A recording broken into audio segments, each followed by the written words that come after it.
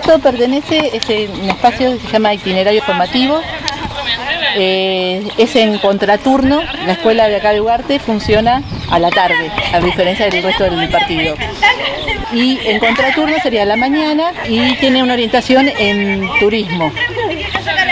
La idea es, eh, empezamos a armar eh, con los chicos un proyecto de huerta que nació en realidad del nocturno de las mamás que estaban preocupadas por la seguridad laboral de los chicos. Y bueno, en un pueblo rural donde eh, en realidad no hay verdulería, donde la gente no tiene el hábito de producir sus alimentos, dijimos que bueno, pensamos que esta podría ser una buena propuesta. Y la idea es armar en el transcurso del tiempo eh, un proyecto de turismo educacional para intercambiar con otras escuelas. Eh, a diferencia por ahí de otras huertas escolares, esta huerta escolar funciona todo el año. En el verano los chicos se turnan para cuidarla.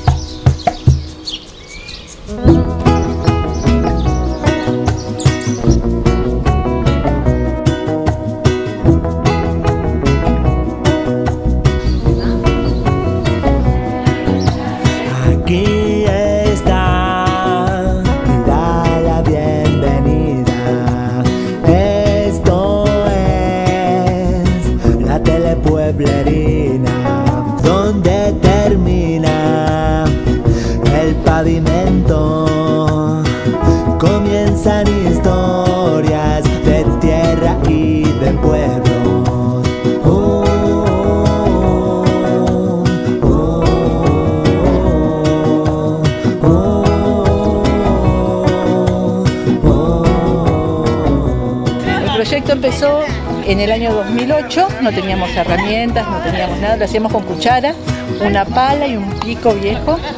Y bueno, por un lado eh, la idea es trabajar por el tiempo libre, un tiempo libre eh, comunitario, o sea, que tenga eh, nuestros proyectos tengan un impacto social, todos los, trabajos que ellos realizan tengan eh, diferentes impactos sociales. Por un lado, lo que nosotros producimos, eh, la mayor proporción va al hogar de ancianos municipal. Y el resto lo vendemos a precio simbólico, qué sé yo, una bolsa así de lechuga 3 pesos, 12 pesos, depende, qué sé yo.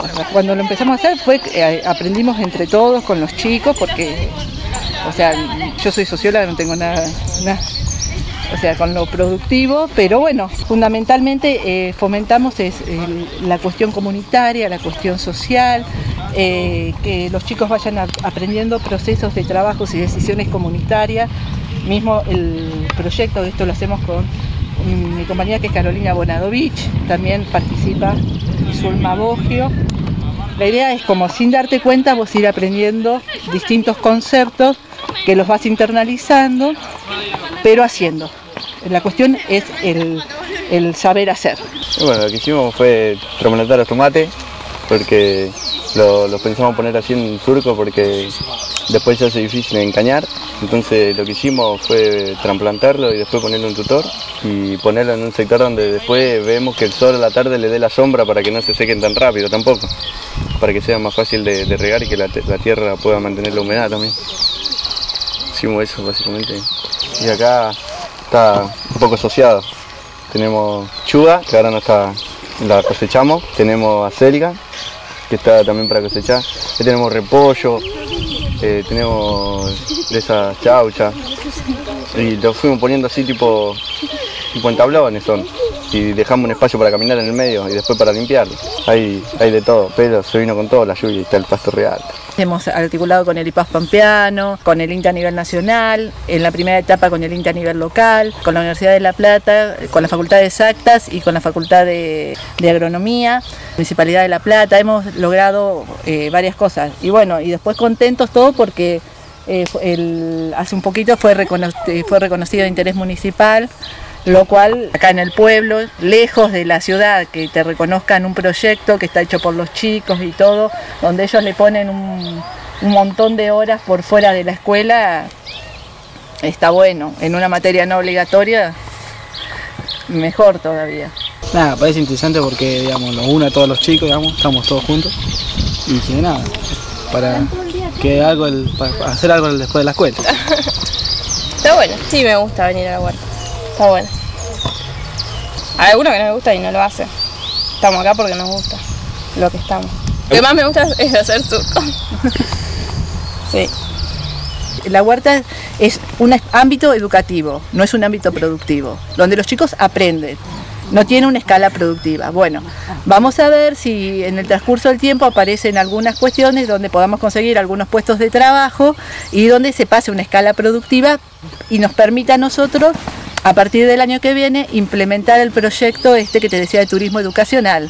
De hecho, eh, ya eh, hay ahí eh, que quería conectarse con nosotros, alguna gente de Inchausti que están haciendo huerta, también los chicos de allá de Inchausti. Bueno, empezar a cambiar, digamos, experiencias y, ir, ir viendo. Después, el año pasado, a partir de este trabajo que hacemos con la escuela primaria y con los abuelos del hogar, los chicos eh, fueron convocados al primer encuentro de jóvenes solidarios eh, de la Argentina con 36 escuelas más, salieron seleccionados, lo cual fue un, orgullo. Y eh, bueno, fuimos a Buenos Aires, pudimos presentar nuestra experiencia, los chicos conocieron otra gente, conocieron chicos, chicas, y bueno, y y tiene que ver con esto, ¿no? Con esto de intercambiar, de, digamos, de comunicarse, de conocerse y de ir aprendiendo. O sea, donde el aprendizaje no sea una cosa que sea que pesado, sino la idea es tratar de allanarlo lo más posible. Hay una etapa que por ahí tienen que sí o sí que tener, pero bueno, tratamos de que cuando vienen los días lindos, los días que son de lluvia y los días de frío, estar en la escuela, avanzar mucho con la teoría, para después cuando vienen los días lindos ya estar eh, en la huerta, preparar todo para el verano. Y bueno, la huerta funciona todo el año.